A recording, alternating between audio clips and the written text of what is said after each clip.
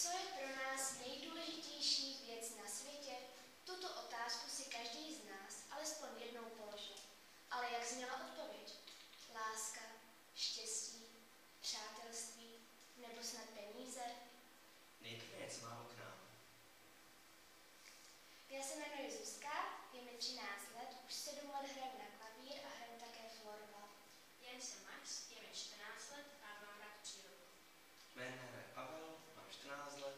vesluj a mal angličtinu.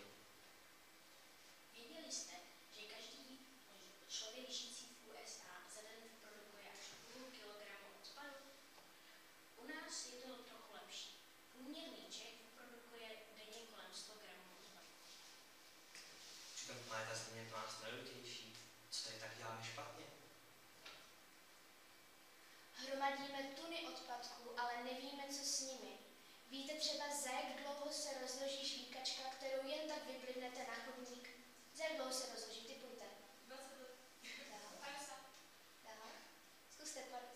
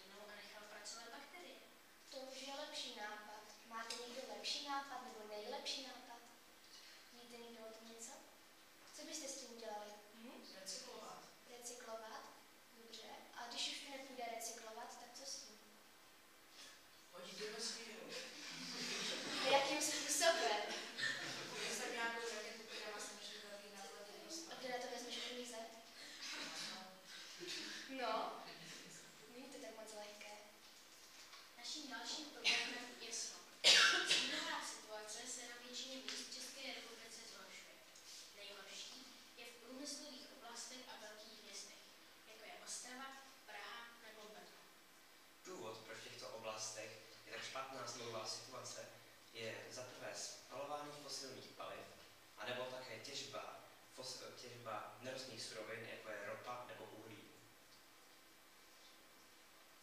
Um, ropa. Škodlivé plyny, jež nevznikají jen spalování fosilních paliv, ale také i dopravou. Um, největším producentem škodlivých plynů jsou auta na naftu, lepší jsou auta na zemní plyn a úplně nejlepší jsou elektrické. today.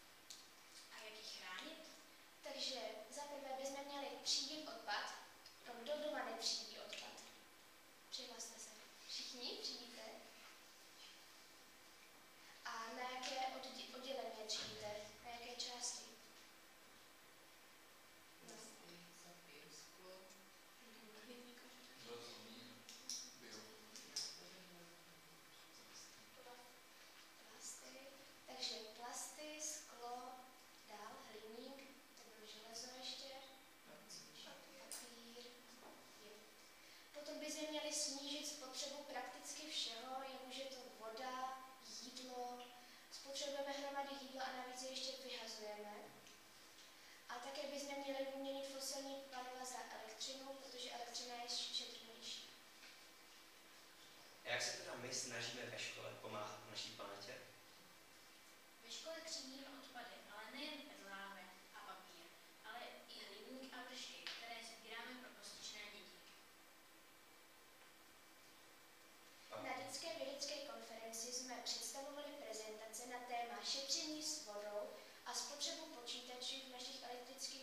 našich elektrických školních učebnách.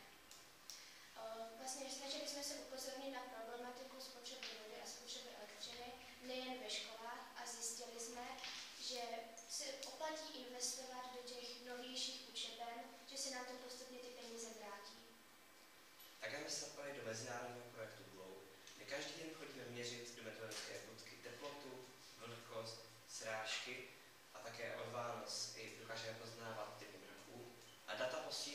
vědcům z NASA a takto se snažíme pomáhat planetě. Také jsme se rozhodli na soutěži Globe Games prezentovat náš projekt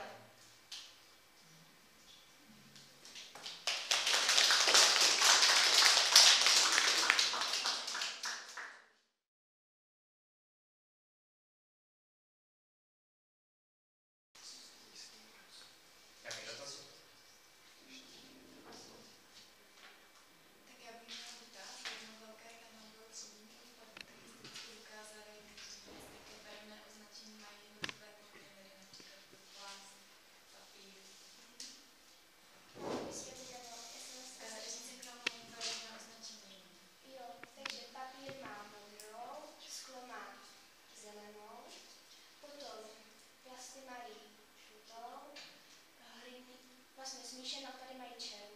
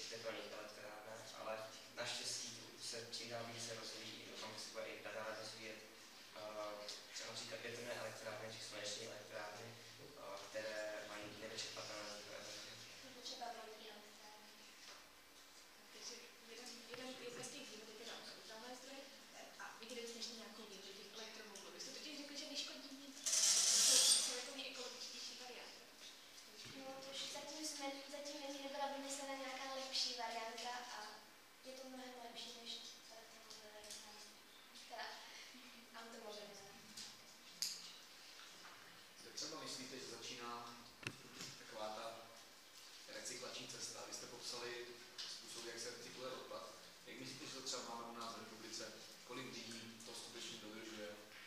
Kdo naopak ne? Já si myslím, že u nás je to docela dost rozšířené, ale někdy třeba i ve škole vidím, že mhm. některý, některý žáci si tam prostě se nesnaží ani a prostě vyhodí ten plast do toho smíšeného no. do toho. Třeba z vašich spolužáků máte představu, vy jste třeba hodně udrželi v tomto? Víte, kolik z nich eh, recykluje nebo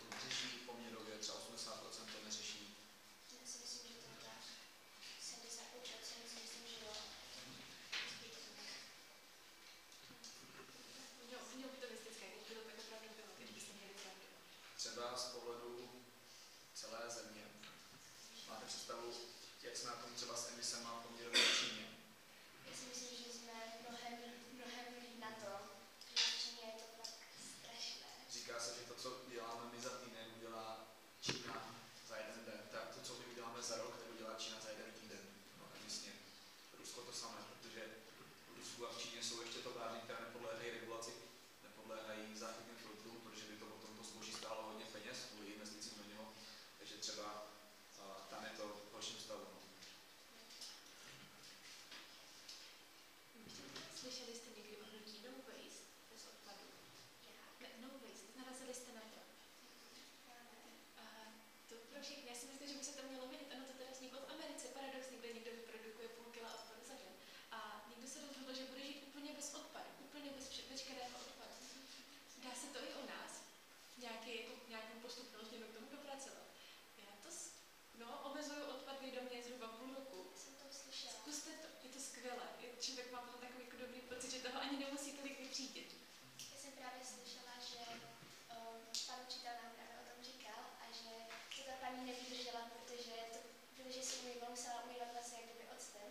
a že to už vadilo mým přítelovi.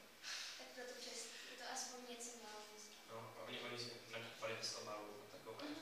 Ty obchodky vznikají, dokonce teďka nedávno otevřeli ve Zlíně bezobalový obchod. Tam se dá věc vlastníma nádobama, nějakou mouku a oříšky a těchto věcí, které se do sebe osypat.